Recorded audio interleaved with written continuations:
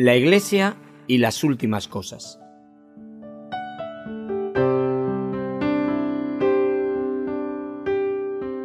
Un estudio expositivo sobre el fin de los tiempos a cargo del siervo de Dios, Loel Bruckner.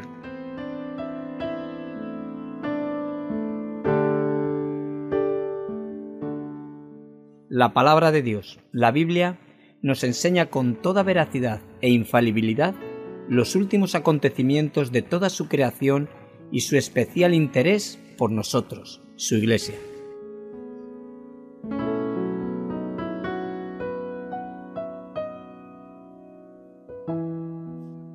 Entonces habrá señales en el sol, en la luna y en las estrellas, y en la tierra angustia de las gentes, confundidas a causa del bramido del mar y de las olas, desfalleciendo los hombres por el temor y por la expectación de las cosas que sobrevendrán en la tierra, porque las potencias de los cielos serán conmovidas. Entonces verán al Hijo del Hombre que vendrá en una nube con poder y gran gloria. Cuando estas cosas comiencen a suceder, erguíos y levantad vuestra cabeza, porque vuestra redención está cerca.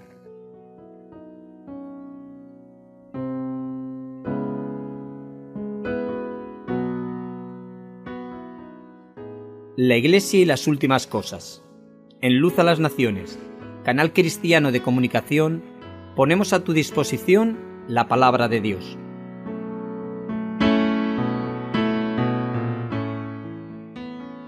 Síguenos a través de nuestros canales de Facebook y YouTube, que podrás encontrar en la página web www.fmradioluz.com.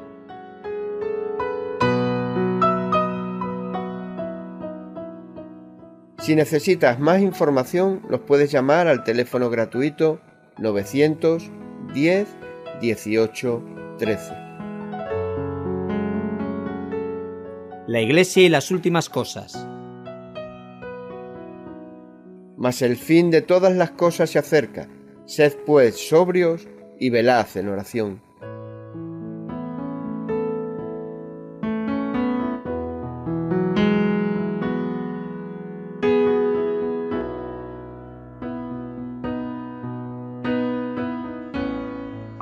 Bestias en capítulo 13 de Apocalipsis. Y ahora voy a leer del, de la segunda, desde versículo 11 hasta versículo 18. Una bestia representando un ser humano que es un falso profeta.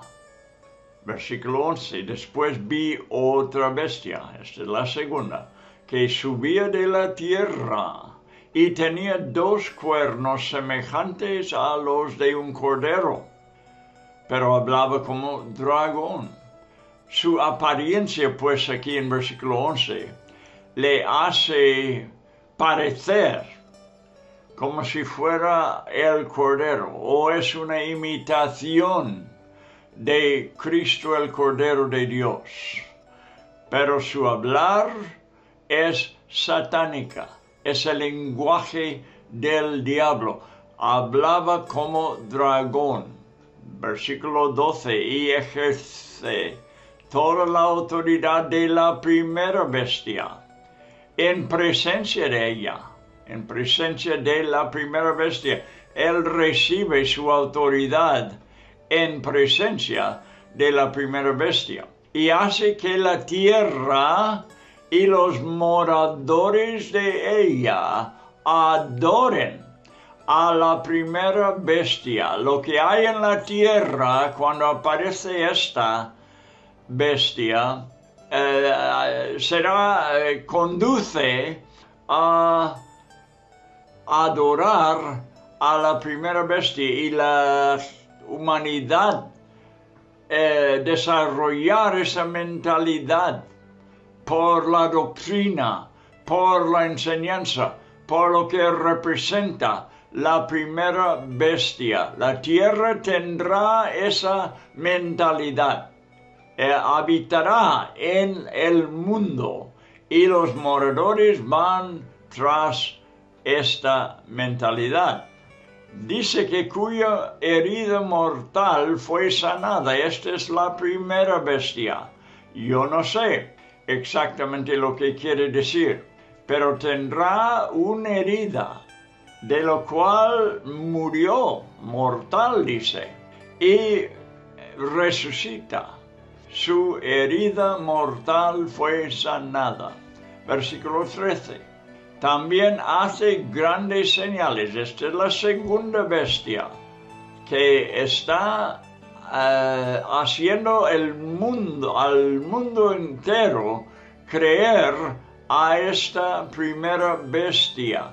También hace, pues, para hacerlo, grandes señales, de tal manera que aún hace descender fuego del cielo a la tierra delante de los hombres. Si te acuerdas, en la Biblia enseña de Elías, que con los profetas de Baal hizo esta determinación de que el Dios que responde con fuego sería Jehová, Dios, sería el verdadero Dios.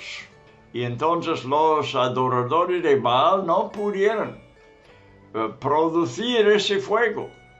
Y Elías clamó a Dios con pocas palabras y el fuego cayó.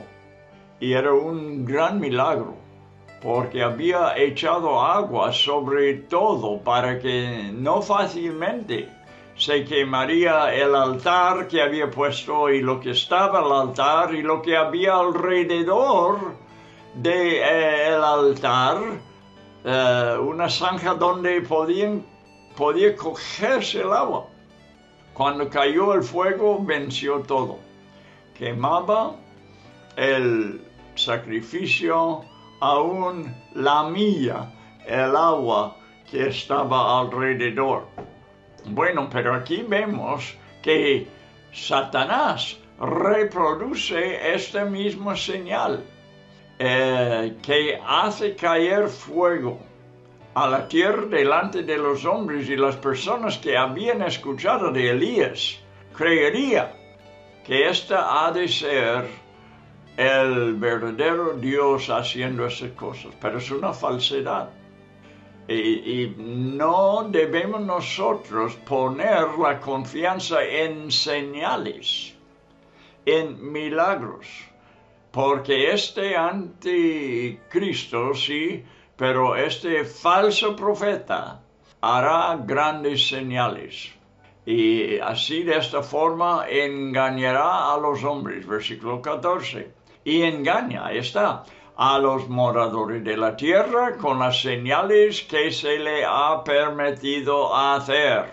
No importa lo que hace, la falsedad, su doctrina, su manera de vivir, su meta, nos prohíbe totalmente seguirle. No importa otros atributos que pueda tener porque es un engañador y tenemos que ver por lo que enseña y por sus metas lo que es y así no seguir. Claro que no creo que el cristiano estará sobre la tierra en esos días, pero sí habrá creyentes que eh, son convertidos durante este tiempo.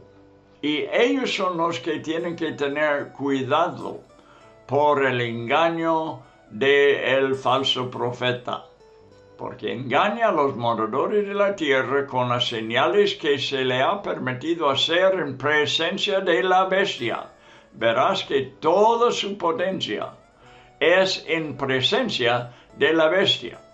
Está unido, están aliados y su autoridad viene de la bestia y la bestia viene del dragón que es Satanás, mandando a los moradores de la tierra que le hagan imagen a la bestia. Entonces los habitantes de la tierra van a ser una imagen.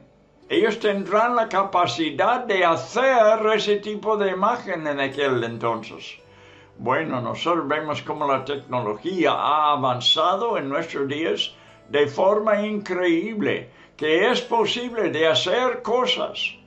los mismos científicos, los mismos técnicos tienen la capacidad de hacer cosas que parecen casi sobrenaturales. Le hagan imagen a la bestia que tiene la herida de espada y vivió. Esto es lo que marca esta persona, que ha sido herida de tal manera que era mortal y revivió. Yo imagino, yo imagino por el poder humano, como muchas veces vemos en nuestros días, revive a las personas que, eh, eh, que dejaron de palpitar su corazón. Y eh, ya no respira, ya no tiene aliento, respiración. Y vuelve a vivir por los métodos medicinales. Y alguna es enseñado eh, las, personas que están trabajando, aunque no sean doctores ni enfermeros, enfermeras, que ellos eh, están entrenados en revivir a personas. Bueno, esto murió y vivió. 15. Y se le permitió infundir aliento a esta imagen de la bestia para que la imagen hablase y hiciese matar a todo el que no la adorase. Tal poder tendrá la imagen hecha por la humanidad, pero por alguna forma pudo infundir aliento a la imagen y pueda hasta matar a los enemigos de él o de ella. Versículo 16. Y hacía que a todos, pequeños y grandes, ricos y pobres, libres y esclavos, se les pusiese una marca en la mano derecha o en la frente. Hoy en día hay muchas teorías de lo que pueda ser esta marca o algo muy pequeño que fácilmente se puede poner en la mano derecha o en la frente para poder comprar y vender. Uh, originalmente siempre se compraba con monedas, ¿verdad? Uh, esta era la manera, pero ya con el tiempo sabemos que hay otras formas. Se puede escribir un cheque, por ejemplo, y con eso cobrar y pagar la cantidad necesitada. Después tenemos tarjetas de crédito que pagan. Y, pero en, últimamente, porque hay problemas con las monedas, hay problemas con, problemas con los billetes, el hombre intenta de inventar una forma de pagar sin problemas, sin que se pierde, por ejemplo, como se puede perder una tarjeta. Y esa manera será eh, ponerlo, meterlo en la misma persona para que no se puede perder. Bueno, eh, según el hombre, según el mundo, es una buena idea, una buena idea, pero es usado en contra de Dios y en contra de Jesucristo. Y es para apoyar y avanzar el reino del anticristo. Vamos al versículo 17. Aquí lo dice que ninguno pudiese comprar ni vender. Esa sería la única manera, comprar y vender en aquel entonces. Cuando aparecen estas señales, cuando aparece el anticristo, cuando aparece el falso profeta, eh, desarrolla, eh, desarrollarán un sistema por lo cual ya la moneda no vale, ya la tarjeta no vale, sino que lo que está metido bajo de la piel de la persona, en su frente o en su mano, y con eso a lo mejor pasa por un escáner y se identifica la persona y su cuenta que pueda tener en el banco y con esta forma tiene que comprar y tiene que vender. Y ninguno pudiese comprar ni vender sino el que tuviese la marca o el nombre de la bestia o el número de su nombre, todo relacionado con la primera bestia que representa el anticristo. Aquí hay sabiduría, dice. Cuando aparece esta persona, ¿cómo se va a identificar? Bueno, el que tiene entendimiento, dice la escritura, cuenta el número de la bestia, pues es número de hombre. ¿No ves que lo que importa no es tu nombre en la sociedad hoy en día, sino tu número? Tu número, tienes tu número para salubridad, tienes tu número eh, social que te identifica más que tu propio nombre. Tú eres identificado con un número. Este es una señal de los tiempos en que estamos habitando. Pero el mismo anticristo, la bestia primera que aparece en este capítulo, tiene en primer lugar un número. Y el número está relacionado con el hombre mismo, con el nombre de este hombre. Es número, dice, de hombre. ¿En qué sentido?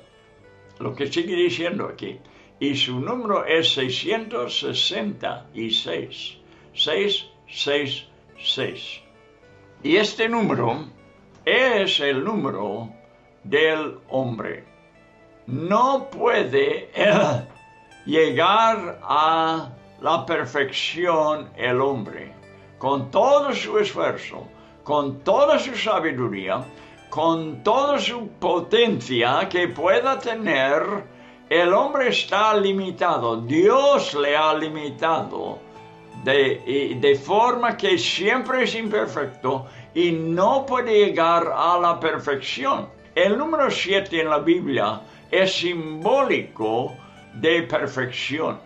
Es, y, Dios tiene que estar involucrado con cualquier cosa que tenga el número 7, el número de perfección, el número, el número de algo completo, algo completo.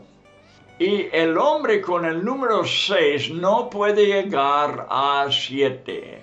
Esto lo vemos en el hombre, todo lo que ha podido hacer en todo el mundo, todo, por todos los avances que hemos visto en la tecnología, en la medicina, en las cosas gubernamentales, en la tierra, el hombre es imperfecto y sigue siendo imperfecto y nunca será más que imperfecto no llega a la perfección.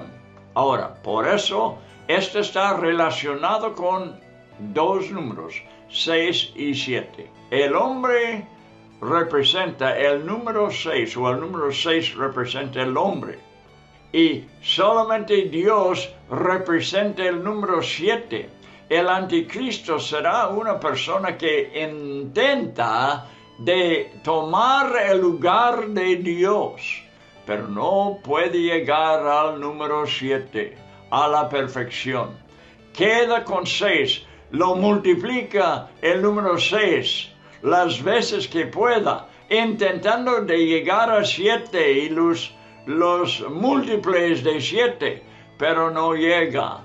Así que su número es un esfuerzo tremendo de intentar de llegar, a la perfección, pero sigue siendo eh, con el número 6, 666.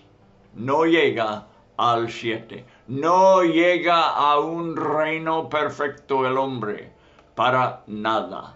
Buen, bueno, amigos, estamos ya eh, estudiando de unos dos hombres que aparecerán en el último tiempo, en los últimos siete años de el mundo como lo conocemos ahora. Estamos llegando a su fin. Después de este tiempo reinará Cristo sobre la tierra en su perfección. Pero el hombre en sus últimos intentos, con todos los avances científicos que ha logrado tener, las cosas que parecen imposibles, si nosotros eh, solamente fuéramos al año, al, siglo, al 20, el siglo 20, eh, y, mucho más en el siglo 19. Vemos el hombre todavía sin un automóvil, sin un coche. Vemos a los, a, los campesinos trabajando en, en, en sus terrenos con caballos, con burros, con eh, eh, eh, con carros y bueyes, ¿verdad? Y, no vemos el hombre avanzando mucho durante todos los siglos pasados hasta este tiempo. Entonces ha habido en los últimos dos siglos un avance tremendo en todo aspecto. Ya el hombre vuela en el aire. Ya el hombre llega en un asunto de horas a cualquier destino donde quiere visitar en todo el mundo. Parece que no hay nada que sea imposible para el hombre. El hombre ha mandado aparatos hasta a, la luna, ha mandado satélites en lo cual, eh, con los cuales ellos puedan, pues, eh, comunicar en todos lados del mundo en una cuestión de segundos o a veces es instantánea, sin ninguna demora. Estamos en días como el mundo jamás ha visto y tenemos que ver estos tiempos como lo explica la palabra de Dios, con unos dos bestias representando hombres, el anticristo y el falso profeta, que aparecerán en estos últimos tiempos justo antes que Cristo venga a reinar. Jesucristo dijo, hablando como un pastor, dijo que los que vinieron antes de mí son salteadores y falsos. Ahora, vemos esto en los últimos tiempos, que aparecerán dos hombres intentando de llegar a, ser divinos y quieren ser adorados como el Satanás siempre ha querido. Y, pero esos serán hombres que llegarán a un alto nivel entre la humanidad y harán señales tremendas, eh, harán cosas que el hombre jamás había visto. Llega a su sumo, a su cima, puedo decir, eh, el hombre en los últimos tiempos, pero no llega a pasar el número 6. Múltiples de 6, pero 6. Y no llega a 7 y los múltiples de 7 que representa la perfección de Dios. Bien, habiendo estudiado estas dos condiciones que ocurren, según el apóstol Pablo, antes del arrebatamiento de la iglesia, ya lo hemos estudiado, pues. Hemos estudiado de la apostasía en los últimos tiempos. Hemos hablado de la manifestación del hombre de pecado, esta primera bestia de que estoy hablando aquí, el anticristo. Ya lo hemos estudiado, pero creo que es un buen tiempo de hablar de la segunda bestia. Ya lo he leído el pasaje en la Biblia donde nos habla de esta bestia. Para ver características en el texto, Apocalipsis 13, 11 hasta 18, porque nosotros nos basamos confiadamente en la Biblia, en este estudio. Creemos que la Biblia habla la verdad y va a acontecer todo lo que la Biblia ha dicho que acontecerá, porque el autor de la Biblia es el Espíritu Santo, que es omnisciente, que sabe el futuro como conoce la historia y trata el futuro como si fuera historia, porque para Dios no hay ninguna parte del futuro que no sabe. Él sabe del futuro igual que el pasado. Bueno, después de estudiarla, hablaremos de lo que pasa a los cristianos últimamente.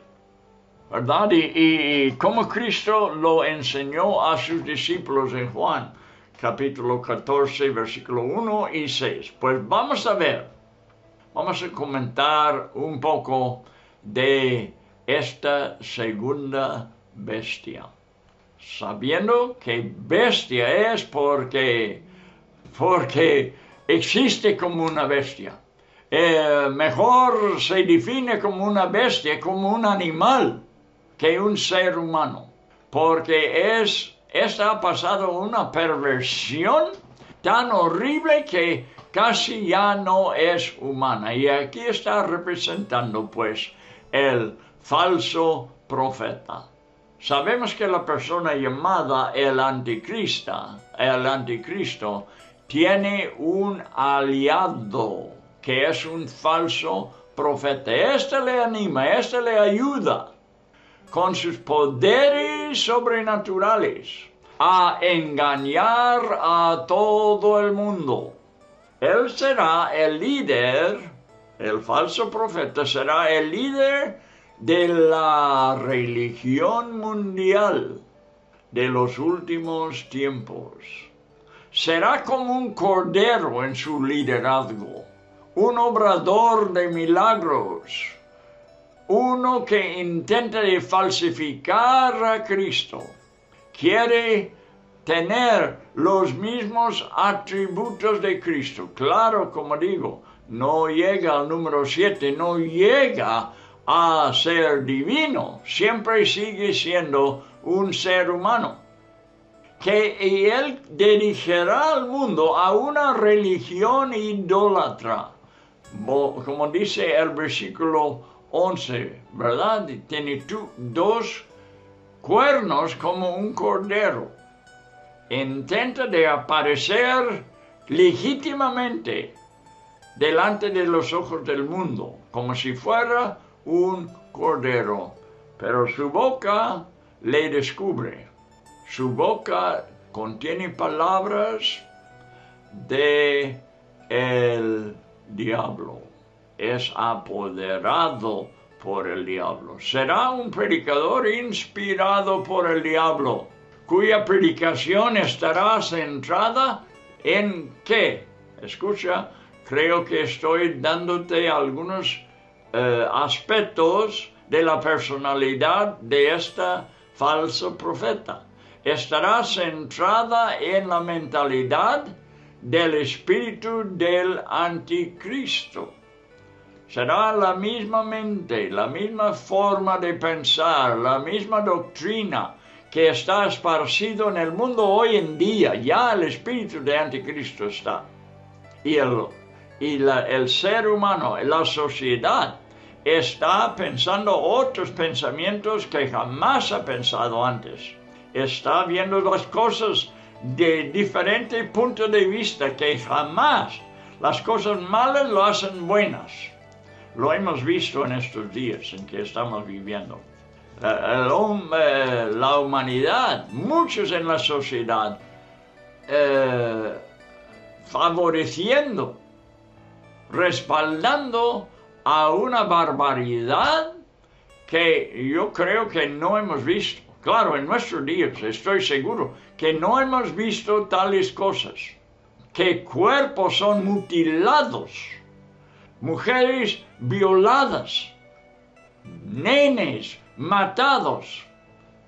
Bueno, eh, eh, y si pudiera poner detalles, eh, no lo voy a hacer, porque no me acostumbro a hablar de esta forma, pero he visto y he oído lo que el hombre ha hecho y que ven que tiene un gran apoyo entre la población. Este tipo de cosas tiene apoyo en la humanidad de nuestros días. Estamos viendo la mentalidad del anticristo delante de nuestros ojos. Él dominará los medios de comunicación. No vaya a creer todo lo que tú ves en las noticias. No vaya a creer a los comentaristas de nuestros días. El cristiano tiene que alimentarse en la palabra de Dios para que no sea engañado por el espíritu que domina en el mundo hoy en día. Cuidado, hermano, de no aceptar las opiniones de la sociedad, de los hombres de nuestros días, porque ya va rápidamente a la perversión, no solamente en términos sexuales, pero en toda su forma de pensar.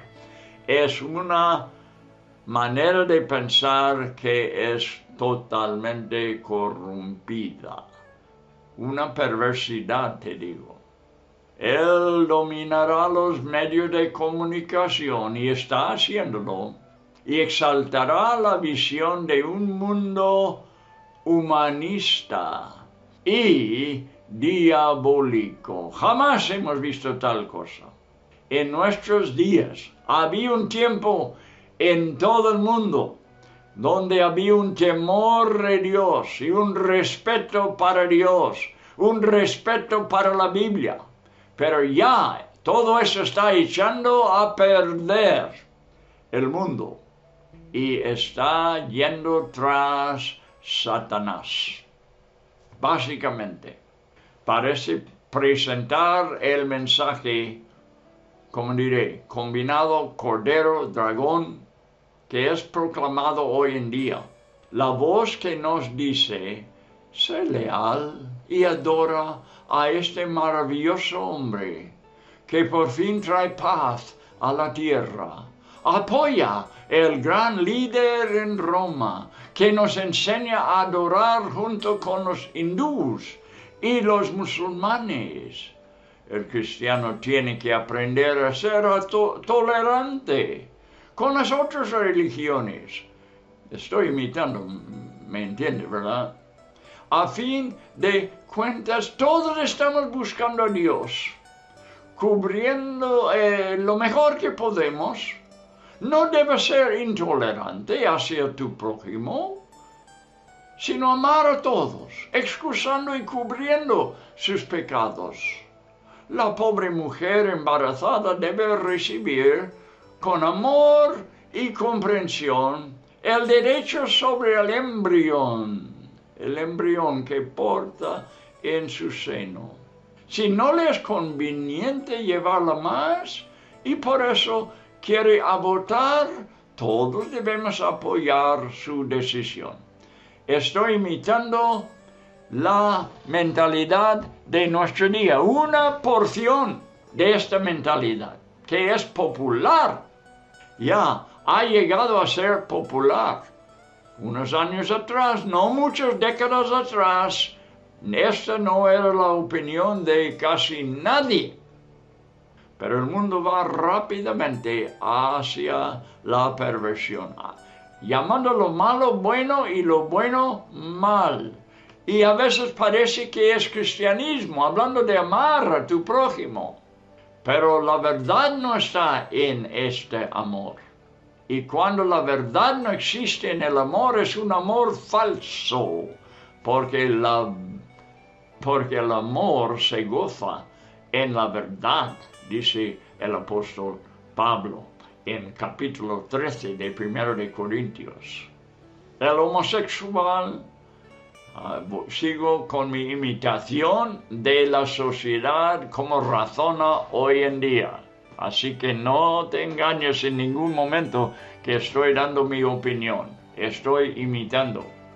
Y digo, el homosexual debe gozar de los mismos derechos dados a los africanos, a librarles de la esclavitud y la igual que las mujeres han obtenido en la sociedad.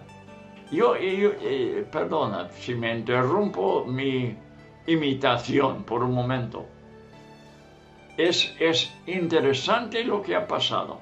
Yo me acuerdo bien de la edad de los feministas, como ellos casi radicalmente demandaban los derechos para las mujeres los derechos en el trabajo, de recibir el mismo salario, las mismas oportunidades que los hombres. Bueno, ya no escuchamos mucho de eso.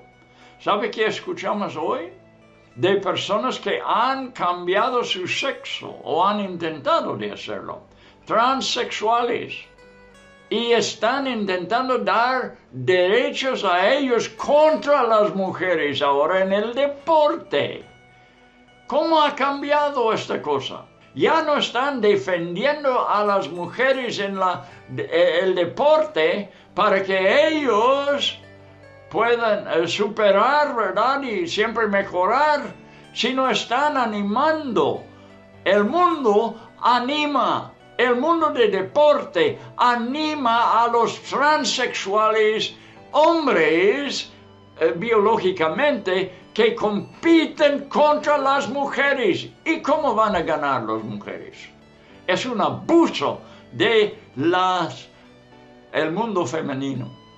Bueno, os digo eh, cosas que nos deben agitar hasta la profundidad de nuestro ser, a ver la perversidad que hay en la sociedad. Estas cosas son contra las palabras de Dios.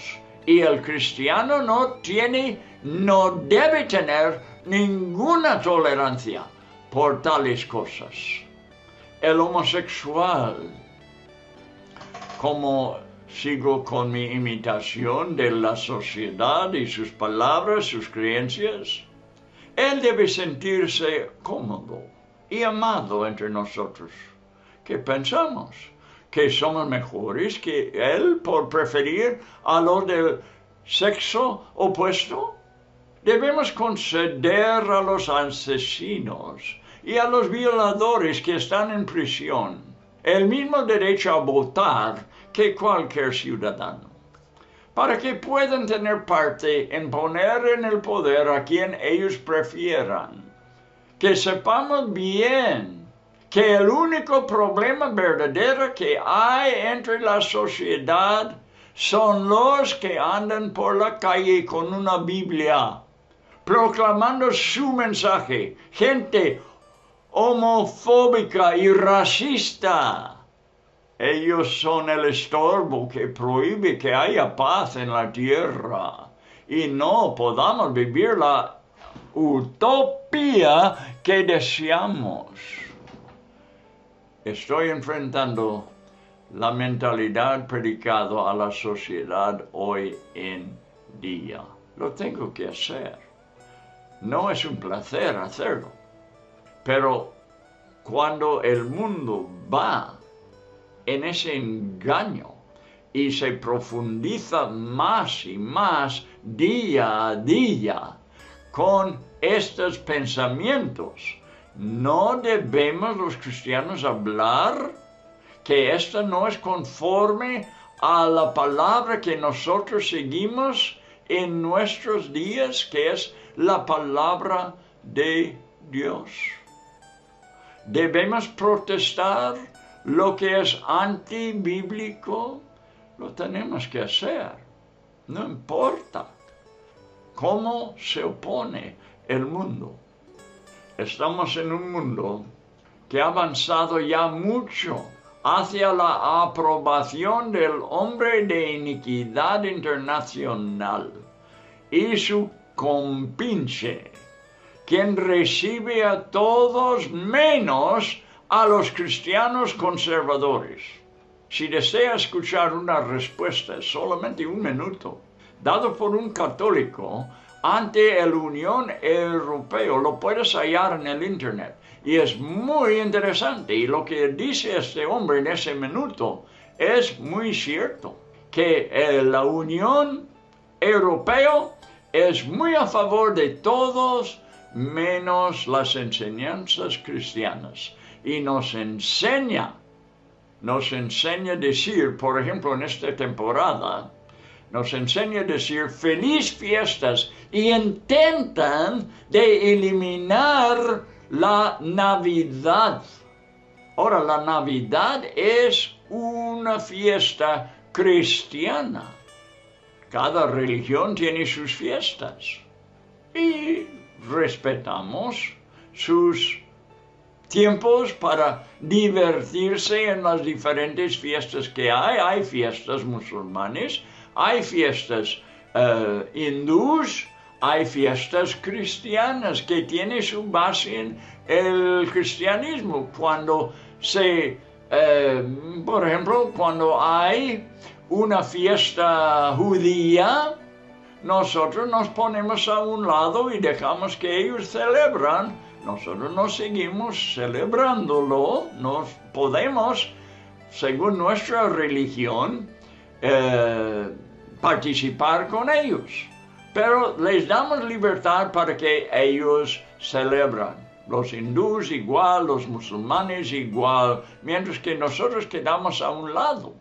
Pero lo que pasa con la Navidad es que el paganismo quiere celebrarlo también a su manera y intenta de prohibir que los cristianos que han sido los primeros para celebrar la Navidad dejan de celebrarlo cristianamente. ¡Qué barbaridad! Claro, no es justo, no es justo. Pero este reino de injusticia es lo que domina hoy en día. Y así nos intentan de decir feliz fiestas. No diga feliz Navidad porque este apunta al pesebre de Belén donde nació Dios hombre. Yo seguiré celebrándolo. Pero mira, este hombre habló de eso y lo busca, si lo, yo no sé cómo se llama, no me acuerdo, pero creo si poniendo esto que es un católico que habló ante la Unión Europea, lo puedes hallar en el Internet.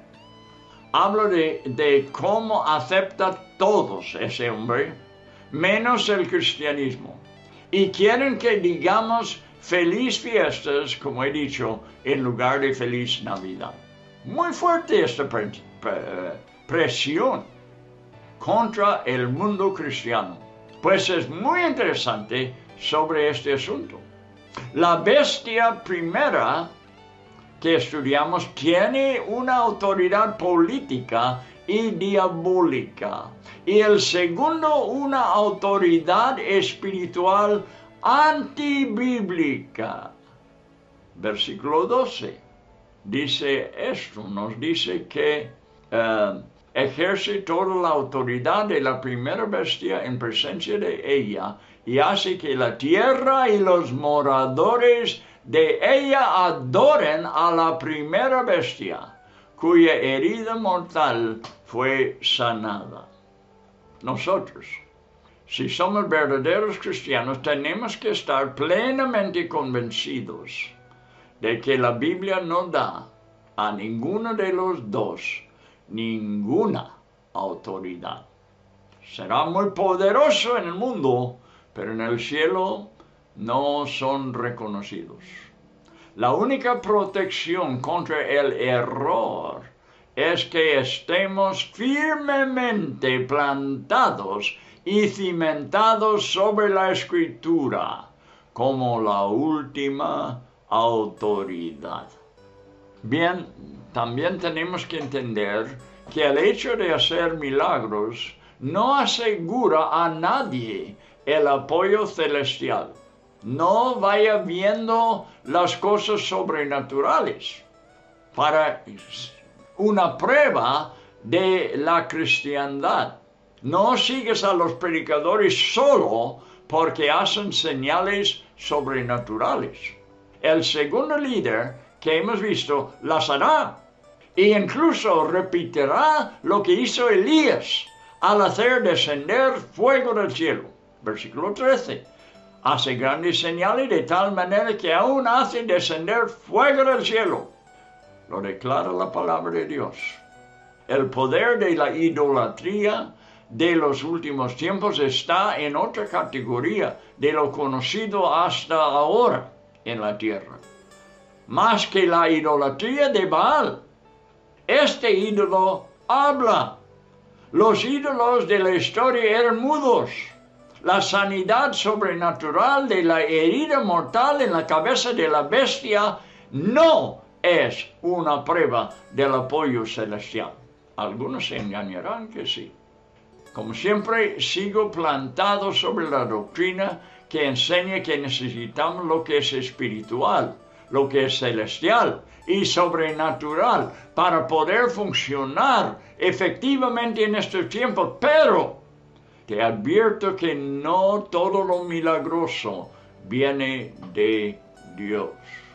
Versículo 14 que hemos leído nos cuenta que el mundo será engañado por el falso profeta, obrando a favor del anticristo. Versículo 14.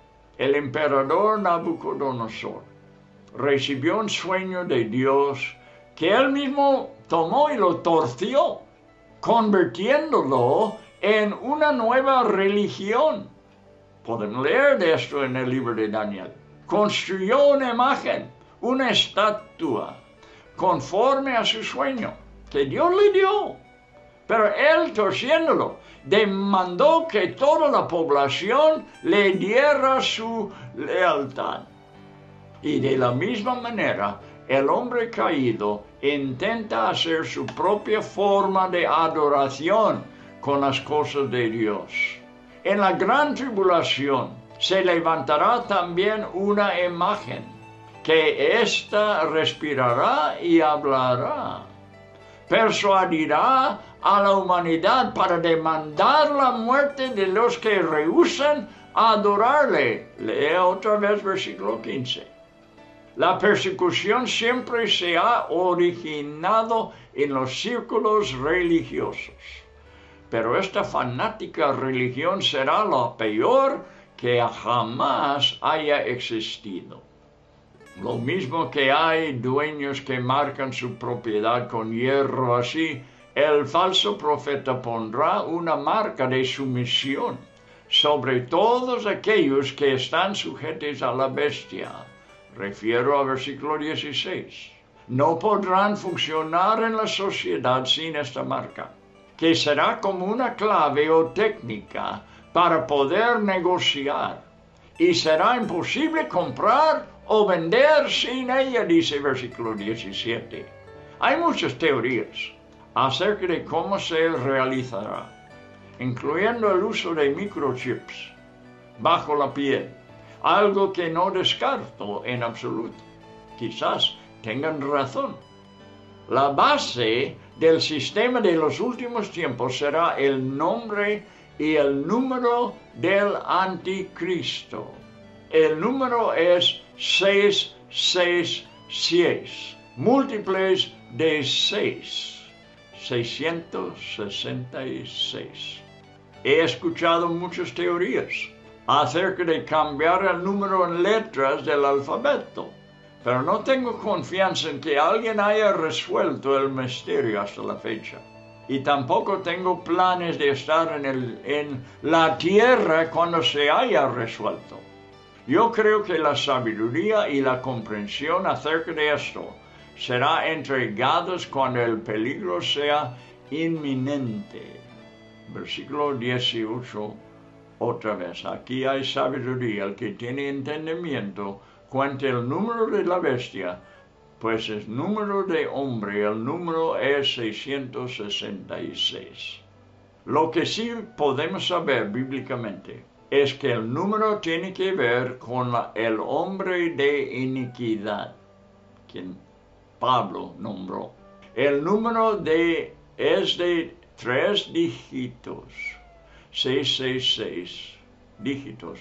Y sabemos que el número 6 es el símbolo bíblico del poder del hombre. Ya he hablado de esto, pero lo voy a repetir para que quede grabado.